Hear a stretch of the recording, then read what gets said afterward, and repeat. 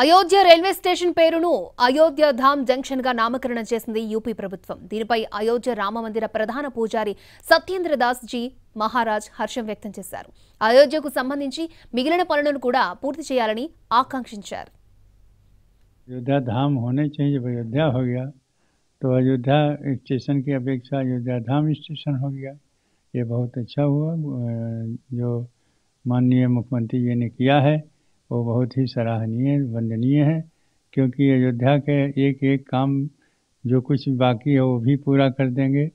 जो नाम बदलना है, जैसे पहले अब फैजाबाद रहा, अयोध्या हो गया।